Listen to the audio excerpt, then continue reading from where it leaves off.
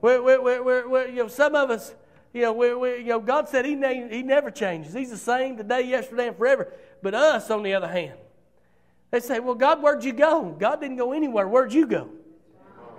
Amen. If God's missing in your life, if God has moved in your life, guess who left? It wasn't Him, it was you.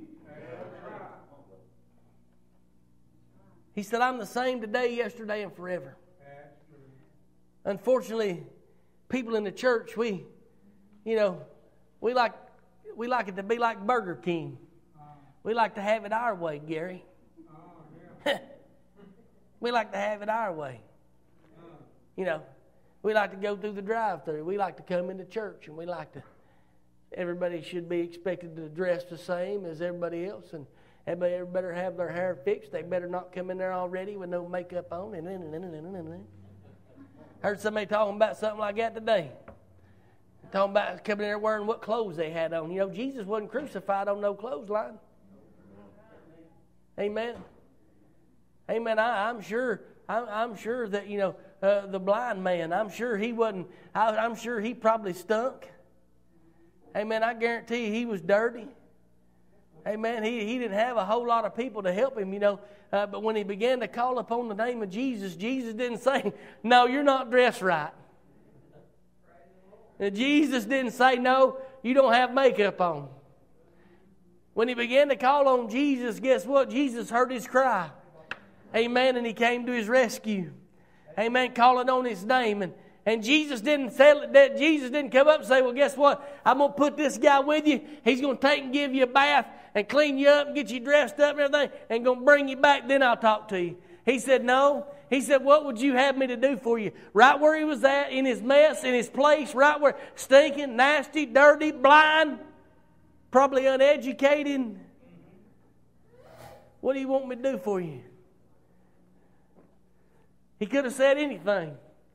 Brother Darrell, he could have asked for somebody to clothe him or somebody to, to give him some new clothes or somebody to, to take care of him all the days of his life or he could have asked him for a new stick, you know, that he could beat around on, you know, find his way around. What's wrong with the church? A lot of times they're not specific enough with God. I taught Micah a long time ago a Portland lesson about being specific with God. See, the blind man, he, he could ask for all kinds of things. Well, you can ask for all kinds of things. But a lot of us, we're asking for the wrong things. He said, You have not because you ask not, or you ask amiss. Amen. A lot of us need to quit praying that God would bless us financially and God would bless us spiritually. And then financially, the, the, the spiritual things, once they come, then the blessings will come financially. Amen. We, we need to stop worrying about what we don't have and be praising God for what we do have. Amen. Because a lot of us, uh, sometimes we think we need more than we really need. Amen. We, we, we, we just need, need, need, need. We're a needy bunch of folks sometimes. I know I'm needy. Uh, I, I, I need a boat. I need, uh, uh I need an RV. I, I need uh, to, I need uh, uh, a million dollars. I, I want that. Those are things that, that I think I need. But, but God said, no. He said, you need wisdom. he said, you need some understanding about what's going on. You, you, need some, you need them blinders took off. You need to receive your sight spiritually. So you quit looking naturally and you'll start looking spiritually. Amen. And you'll see the things that really matter because, see, all these things are going to pass away. All those things that I want, that boat, it'll be gone. Amen. Brother Gillis, that, that, that $100 million, it'll be gone. Amen. It'll burn up just like everything else will. But Jesus said my things, He said they're eternal. Eternal. And those are things that are important. Ain't nothing wrong with having boats. Ain't nothing wrong with having money. Ain't nothing wrong with having uh, RVs, campers. There ain't nothing wrong with those things. But I'm going to tell you right now the most important thing is your relationship with God. Amen. You better make sure that your relationship with God is where it needs to be. Before we got, you know, I don't want God to ever bless me with anything that's going to separate me from Him or put my relationship with Him in a strain. Amen. Going to cause me problems where, where it's going to open doors for the devil to get in. Amen. Because, Brother Gillis, I know there ain't nothing wrong going to the lake. I know there ain't nothing wrong going to the mountains. There ain't nothing wrong coming to church either. Amen. I, the preacher one time we had a discussion. It's an up and down time of year. They're either up in the mountains or down at the river. Amen. In the church, that, that's, that's a problem right now. I guarantee you, Sloan's in Vonore at 11 o'clock today, you could have killed half of the people in Monroe and Blount County because they was all getting ready to go spend the time on the lake instead of coming to the house of God. And a lot of them church people. That was bad. God don't mind us taking vacation, but listen, we start leaving God out of everything, out of our lives. Guess what? We begin to separate ourselves from God. We begin to allow a foothold for the devil. We allow for things to come in that shouldn't be there. And we wonder what's going on in our life. Well, let's guess what? Let's go to the lake on Saturday or Friday. Uh, uh you know, we need to take a vacation day on Sunday. God, under God, yeah, that's good. But let's don't do it every Sunday. Let's don't make sure that we're not doing every single service. Let's make sure that we're not missing every single service. Oh, well, I can find God down to the lake. You can find Him down to the lake. But I'm going to tell you right now, you get into fellowship with a bunch of men and women of God. I'm going to tell you right now, the Spirit begin. You've seen what happened here tonight, amen. The Spirit of God began. You ain't going to find that everywhere. Amen. Forsake not the assembling of yourselves together with other believers, that you may withstand the wiles of the devil. I need your help. Amen. I need your help. You guys encourage, you don't, you don't understand. You guys encourage me in, in a way that nobody, I see guys every day. I see people every day, but they don't encourage me the way that you do. When we come to the house of God and I see you and I see your smile on your face, I see that God's blessed. Listen, that encourages me. That God is working in your life and that, man, hey, you guys lift me up. The same people that I run into outside of here, it's not the same thing. Amen. They tear you down. I mean, you know them them people you run into, Brother Bill. That, oh, woe is me. Everything can go wrong. Everybody's against me. You know.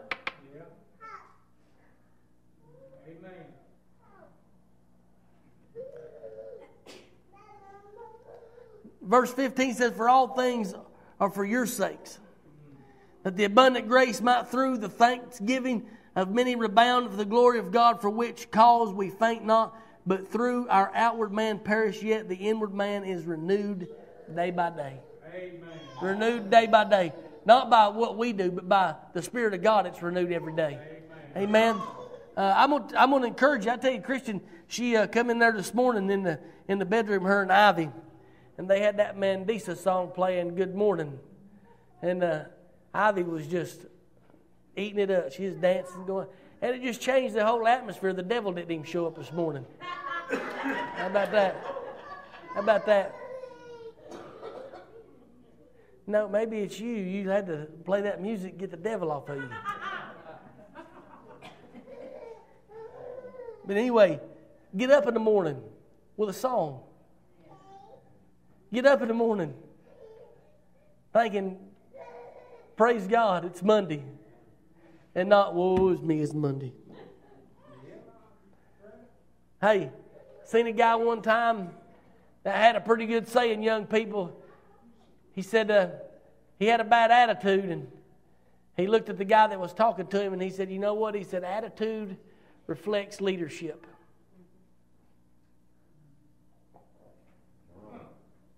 Attitude reflects leadership. Huh. That's pretty deep. You get to thinking about leadership. Who am I? I'm leading Micah. All right? So my attitude is going to resonate off him because he's going to have the same attitude that I got. All right? If my attitude is good, guess what Micah's attitude is going to be? Good. But I get my attitude because I know what my leadership is. My leadership's not of the devil. Amen. My leadership is of heaven. And He's leading me. He's leading me. And so I resonate that from Him to me. So that's the reflection. The sun reflects, the moon is a reflection of the sun, right? I want to be a reflection of the sun. I want to be the moon. Amen. I want to be a reflect. I want to reflect Jesus. I don't think Jesus would be walking around having a, a bad attitude about everything is good. That's right, Micah. Jesus ain't gonna be walking around. Don't talk to me. It's Monday. I know them people. Don't talk to me. I ain't had my coffee yet. Well, bless God. Go in there and get some. That way you'll get perked up. Amen. Don't speak to me. I ain't had my breakfast yet. You know. Or woe is me, it's another Monday. I'm pretty sure that if we'll put a smile on our face and get a song in our heart, Monday to Wednesday won't seem that bad when we come to back to the house of God. We won't drag ourselves back in here like we've been kicked in the teeth by a Jerusalem donkey. Amen. We won't we won't come dragging back in here on Wednesday like we've been, uh, you know, hit by a 747, all limped up and arms missing, and come in here and God have to bandage us back up and send us right back out. Amen. Attitude of gratitude.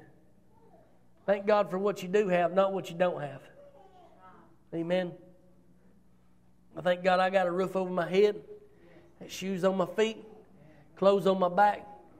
It may be the same clothes I've had for the last 22 years, but hey, they're clothes. I don't throw anything away. You just ask my wife. I've got pants from when I was in the ninth grade, probably. I don't know. She's like, You got way more clothes than I've got. But I just thank God an attitude of gratitude. And in 17 it says, For our light affliction. Compare what we go through to what Jesus went through. And that's what they compare our walk with Christ like. He says, For our light affliction, which is but for a moment. Why is it just for a moment? Because in the moment, in the twinkling of an eye, we'll be out of here. We can be gone. Even in death. That quick. We suffer this light affliction but for a moment. Worketh for us a far more exceeding and eternal weight and glory. Our light affliction here, it's like a pound of feathers and a pound of bricks. Which one weighs more? Huh? I said a pound of feathers and a pound of bricks. They both weigh the same. It don't matter. but wait. So our light affliction here yeah, somebody may run us through the mud, Gary. They may, they may talk bad about, say that Jesus freak, that, that crazy uh, person down there, them crazy bunch laying on hands down there. But the weight that that carries in glory, to get to live for eternity in heaven with Jesus, the Savior of the world, the one that saved us, to walk the streets of gold, to see the gates of pearl, to walk into the kingdom of the Almighty God. Amen. What a light affliction that is in the scope of what is to come in eternity. He said, The weight of this light affliction in comparison to eternal weight of glory. What is it? Why, why do we worry about if we talk to somebody about Jesus and they say, Get away from me, I don't want to hear about that? They're not pushing you away, they're pushing him away.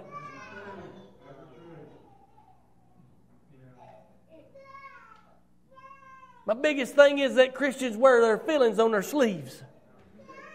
You, if you're going to be a Christian, you better have some tough skin. This ain't for, this ain't for wimps and crybabies. You, you, you, you better be ready to be lambasted, talked about, looked down upon, pointed at. But I'm going to tell you right now that in the scope of eternity is absolutely nothing. Why would I want to give up heaven to make somebody like me? young people? Why you want to give up? Why you want to give up being known in heaven with being popular on earth? That that don't carry the same weight. That's not even that's not even in the same ballpark. In the same comparison.